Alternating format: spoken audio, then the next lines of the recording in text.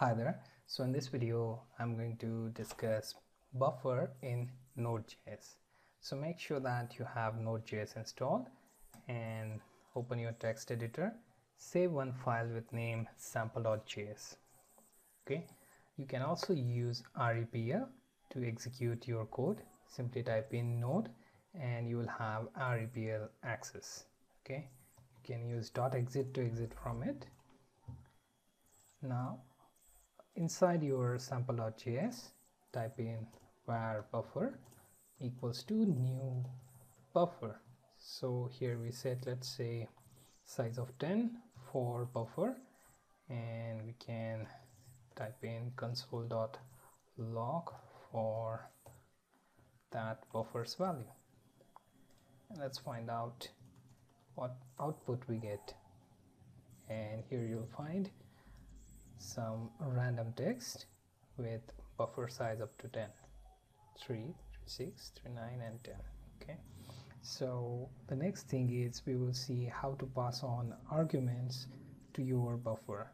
So for that simply change your buffer constructor to get arguments. So in square brackets type in 1 2 3 4 and 5 okay now open command prompt and execute the code again. And you will get the argument passed to the buffer. Okay similarly you can also pass string. Simply remove this and have strings such as node.js now if you execute the code it will put some random data instead of showing that string okay? So for that to show properly you have to pass encoding as well. Before that let's take a look at some encoding. So type in console.log then buffer.eats encoding and we will check if it has UTF-8 okay now open command prompt and execute the code and it will say true. Now what if you want to check encoding as ASCII? In that case simply execute the code again and it will pass as true. Now how about hex? So hex will also give you true but what if you don't pass anything? In such case it should return false okay so this is how you can check whether the encoding for your buffer is supported or not.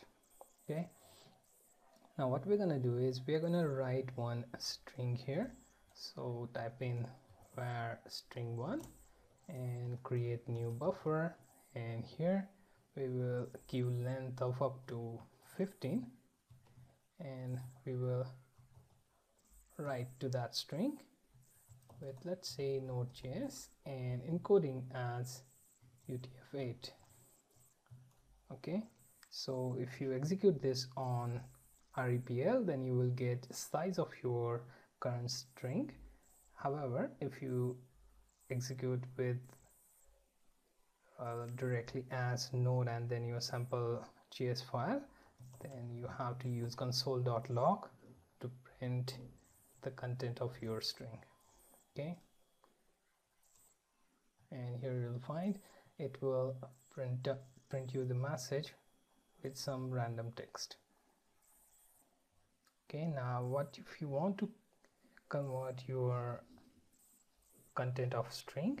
In such case you use string dot to string. So simply type in str1 dot to string and for this method you pass on UTF-8 so it should show you the content of your current string. Okay so let's just remove this.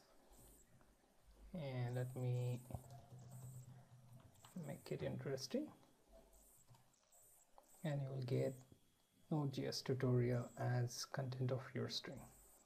Okay similarly you can also specify which part of string you want to display from 0 to let's say 7 so you can print that out.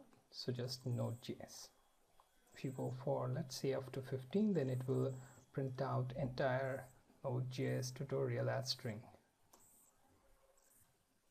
Okay? So